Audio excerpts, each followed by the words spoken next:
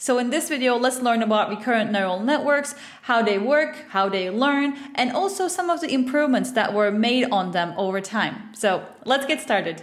A nice thing to do before to start talking about RNNs is to remember how neural networks look like. So if you remember in a normal neural network or a deep neural network, you can call it, uh, we have an input layer, a hidden layer, and an output layer. And information runs sequentially. So first the information comes to the input layer, then it is passed to the hidden layer, and then finally the output is produced. So all of the data points that you have, you give them at the same time, all of the features of your uh, specific data point that you're training on. The difference in neural networks of recurrent neural networks is that they are recurrent. So that means that the same thing happens over and over again in a way. Um, so this is what a recurrent neural network looks like when it's unrolled, and I will also show you the rolled form. But basically, what you need to know is that each of these little sections are actually uh, one of the same. They're the same network, or they are the same neurons. So what happens is these are all the different input features, and you give them one after another. So you first give the first feature of your input, and output is calculated and also passed to the second time step. We call them time steps. And then the second feature of your input data input or a data point is given, including the output of the first one, another output is calculated, and so on and so forth. So when you put it, in, when you show it as it is actually and how it is, is that it is just one unit. So what happens is you give it an input, output is calculated, but at the same time output is passed again. The second feature of the input is given. So when you compare it to neural networks, what happens is in neural networks you give all of the features at the same time, whereas in the current neural networks you give all of the features one step at a time. So it is basically things happen in a time step manner. So we would call this the first time step, the second time step, third, fourth, and fifth time step. So basically in each of these time steps, except the first one, you have two inputs. One of them is the output from the previous time step, and one of them is the input of this time step. So how do we calculate the output of recurrent neural networks? Well, we do it with this formula. It's actually quite simple, even though it looks like a complicated math formula thing. Uh, you have weights for your inputs. So for each time step, you have the weights.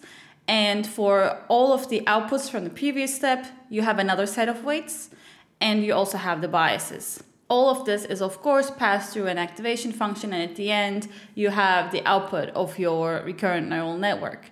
One thing to understand here is that even though we have, it looks like we have many steps, as I said, it's actually just one unit. So Wx and Wy, which are the weights of the previous, uh, the output of the previous layer and the input of this layer or time step, is the same because they're actually the same. Here we're just showing them in an unfurled way because it's easier to understand. So there's only one set of um, weights for the input and one set of weights for the output. So there is a very common way of showing cells of uh, RNNs because these cells here, how the output is calculated, can be different. And we will talk about different types of cells too. But let's talk about how to depict a simple RNN cell. So what we normally have, of course, as we talked about, the input, uh, the output from the previous step, time step, and the input of this time step. So these t's basically depict this time step. t is this time step, t minus 1 is the previous time step.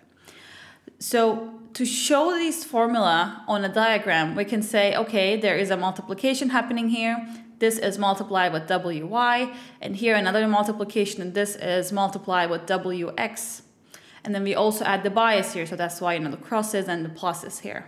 And this all goes through an activation function, of course, and very commonly what's used is the hyperbolic tangent function. Um, but of course, you can use other things too. But generally, hyperbolic tangent function is the one that is being used with simple RNNs. And at the end, we pass the output of this time step to the next time step, and also we output it. But Sometimes this is not the case. So for simplest of RNN cells, this is the case where you pass the output to the outside world and also to your next time step.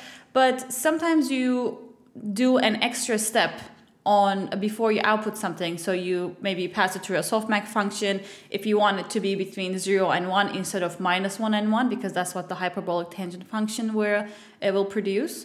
Uh, then basically what you pass to the next state will not go through the softmax function, that extra step, and then you will still pass it to the next function, uh, next time step. So it still is the same thing, but has seen less processing. So then what happens is we call this the hidden state of this time step. So the hidden state of this time step is passed to the next time step. So this is just a uh, interesting difference to keep in your mind that you do not always just pass the output that you get to the next time step, but sometimes you call it the hidden hidden state. There are, of course, a bunch of ways how you can use this uh, architecture because you do not always have to pass all of your or uh, output all of the outputs that you calculate in your cells. So let's look at a couple of different options. The first type is sequence to sequence RNN model. So basically for every input that you give in each time step, you get an output for that time step. And for these kind of things, you can use for things that where you're forecasting things. So for example, price, price forecasting or stock exchange forecasting sort of things. Uh, the second one that you can use is called sequence to vector. Sometimes it's called sequence to single because you only get one output at the end of the whole RNN uh, network that you have. Um, and these things that you use for, let's say you have a sentence or you have an email, and at the end of the or as an output of the model, what you want to know is is it scam or not? Or for example, sentiment analysis, like what kind of sentiment does it have? Is it negative or positive? That kind of things.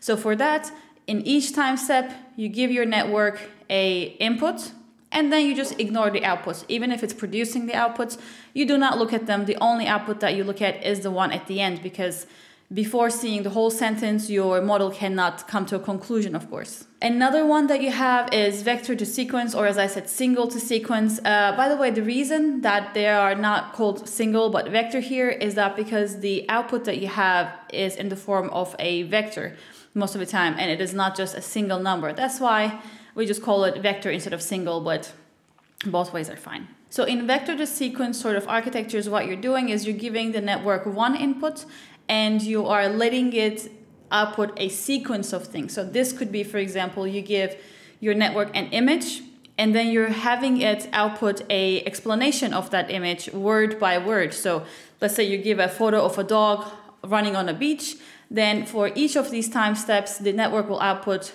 a dog running on the beach, for example. So those are the kind of things that you would use a vector to sequence uh, architecture for. And lastly, we have encoder decoder sort of architecture. So in these kind of architectures, RNN architectures, at first you are only giving the, your network inputs. So input, input, input for a couple of time steps or how many uh, ever that you need and then you get outputs.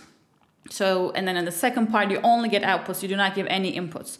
And these kind of architectures are good for translation because to translate a sentence, your network needs to see the whole sentence first because meaning of some words might change, the translation of some words might change if you uh, see the whole sentence based on the context. So that's why you first give it the whole sentence and then you give the get the translation word by word on the decoder part. All right, but how does RNNs uh, learn? So how does the training work? It's actually quite simple. It's very similar to normal neural networks that do not have any interesting architecture, uh, but we just call it backpropagation through time. So what happens is the output of the network is calculated, of course, and we do it in, you can think of it as like its unrolled for, uh, form. So at first you give it input as zero, and then, uh, or the hidden states from the previous time step because it doesn't exist as zero.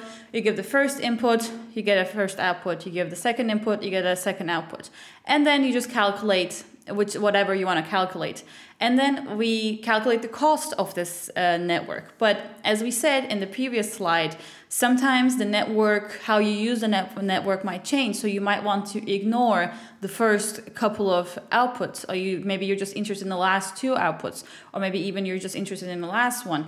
So based on that, the cost is calculated. And then based on that, as we did with normal neural networks, we calculate the gradient and then the gradient is passed back uh, through the network and the weights are updated.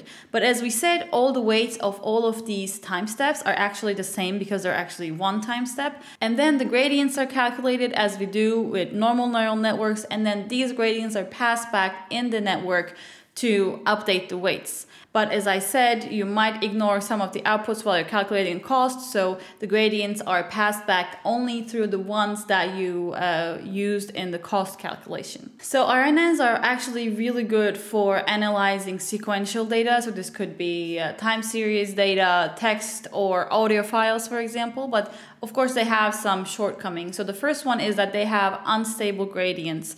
Um, and you can imagine that, right? Because it's a very long sequential sort of architecture. The further back you go in this architecture, um, the smaller your gradients are going to get. So you might not be able to update the weights on the previous timestamps uh, in a way or to previous time steps in a way that will be helpful for the whole network. Uh, what you can do for this problem in RNNs is use other techniques that we use for normal neural networks too or just deep neural networks too to deal with unstable gradients or you can use la layer normalization instead of batch normalization because batch normalization is not as effective with recurrent neural networks. So they're kind of tricky to apply to recurrent neural networks. So instead, you can use layer normalization. And another problem with simple RNN cells is that they forget. If you give it a very long sentence, uh, it tends to forget what was being said at the beginning of the sentence. So the applications that are created with it are not really effective or they don't work as well. So instead we have the LSTM or GRU cells that we can use to uh, make sure that we still remember the beginning of a sentence at the end of it. So let's see what a LSTM cell looks like. If you remember how I showed you in that diagram, the RNN uh, architecture, the simple RNN cell looks like, it will be easier to understand this one here. So what we have is a couple of sigmoid activation functions and then we have another hyperbolic activation function. And you know, we he here see that there are two hidden uh, states that are passed from the previous time ste step to us. And then we again pass those two different hidden states to the next time step.